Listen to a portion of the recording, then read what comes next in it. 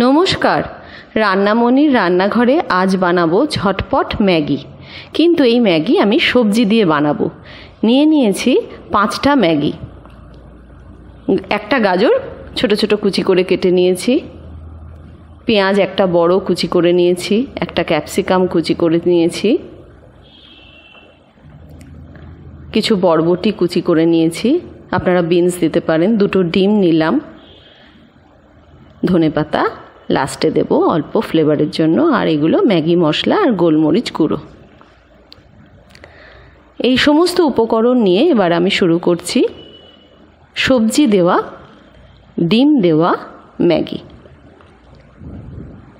বাচ্চারা বা বড়রা ম্যাগি খেতে খুবই ভালোবাসে, যেটা দু মিনিটে হয়ে যায়। কিন্তু এর সাথে যদি একটু অন্যান্য উপকরণ পড়ে, তাহলে ম্যাগিটা স্বাস্থ্যকর এবং আরও সুস্বাদু খেতে হয়। সাদা তেল গরম করে আমি যে সবজিগুলো আপনাদের দেখালাম একে একে দিয়ে দিচ্ছি। যেহেতু এটা খুব ছোট করে কুচি করে কেটেছি, সেজন্য সেদ্ধ করার দরকার নেই। এই তেলে অল্প নাড়াচাড়া করলেই এটা সেদ্ধ হয়ে যাবে।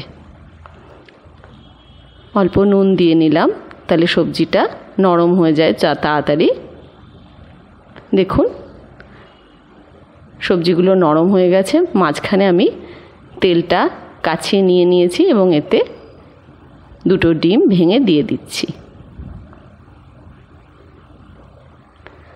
ইচ্ছে করলে আপনারা এতে ফুলকপি দিতে পারেন, ব্রোকলি দিতে পারেন, বাঁধাকপি কুচি দিতে পারেন। আসলে সবজির যে গুণ, সেই গুণগুলোও আমাদের ম্যাগির মধ্যে চলে আসবে। এবার দেখুন, গুনে গুনে আমি কাপে করে জল দিচ্ছি।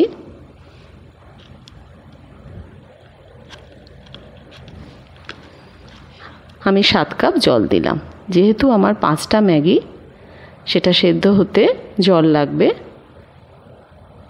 আমি চায়ের কাপের, ছোট চায়ের কাপে সাত কাপ জল দিয়েছি। এবার ম্যাগিগুলো আমি একে একে দিয়ে দিচ্ছি। পাঁচটা ম্যাগি আমার জলের মধ্যে দেওয়া হয়ে গেছে। এবার এটা সেদ্ধ হবে। আর ম্যাগির যে মশলাগুলো, সেগুলো সব দিয়ে দিলাম।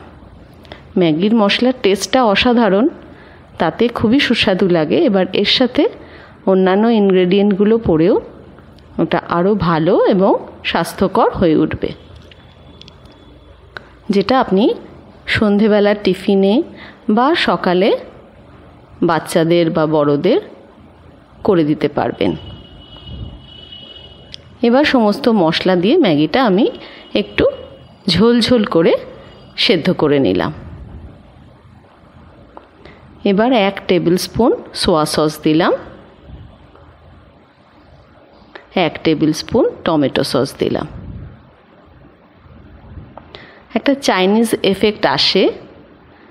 ম্যাগি বা চাউমিন এগুলো মানেই একটু সস থাকলে ভালো লাগে। লাস্টে আমি ধনে পাতা কুচি দিয়ে দিচ্ছি। ধনে পাতার কুচি দিলে একটা অন্যরকম গন্ধ আসে, খুব ভালো লাগে, একটা ফ্রেশ ভীষণ ভালো লাগে। এবার সামান্য গোলমরিচ গুঁড়ো ছড়িয়ে দিলাম। এটার ঝালটা একটা অন্য রকম